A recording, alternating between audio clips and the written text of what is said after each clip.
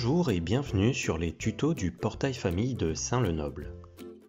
Aujourd'hui, nous allons voir comment régler une facture et effectuer le paiement en ligne sur le portail famille. Une fois connecté sur le portail, cliquez sur l'onglet Mon compte.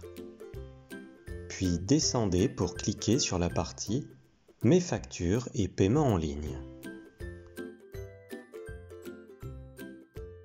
Sur cette page, vous trouverez la liste de vos factures que vous pouvez télécharger à partir des boutons Actions, ainsi que leur état, c'est-à-dire si elles sont en attente de paiement ou si elles sont réglées.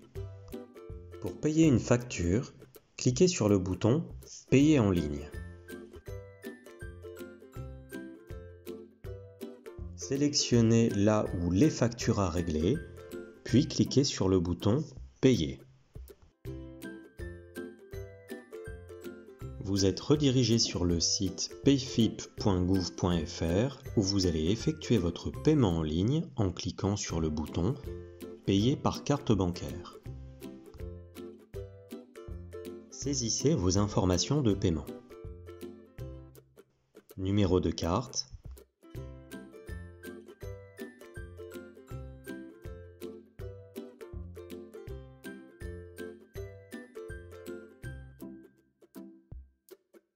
date d'expiration et le cryptogramme visuel situé à l'arrière de votre carte. Une fois les informations inscrites, cliquez sur Valider. Votre paiement est effectué.